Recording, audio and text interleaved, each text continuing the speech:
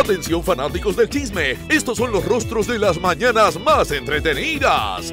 Vanessa Labios Sensuales Gení, la abogada de la farándula. Yengo del Río, más insoportable que la gripe. Metiche, ya no sabe cómo disimular que su corazón late por.